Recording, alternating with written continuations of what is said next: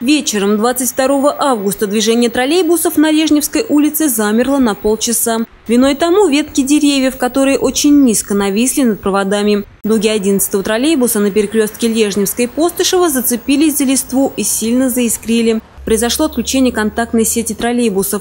По словам кондуктора, подобные проблемы возникали нередко.